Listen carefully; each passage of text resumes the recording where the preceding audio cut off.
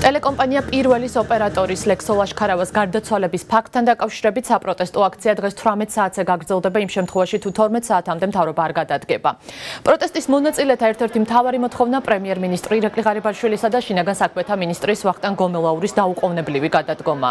ლექსო ლაშქარავას გარდაცვალების გასაპროტესტებლად ჟურნალისტები რეგიონებში შეიკრიბნენ. ამ დროისთვის ტელეკომპანია პირველის ოპერატორზე თავდამსხმელი მხოლოდ ორი პირია დაკავებული.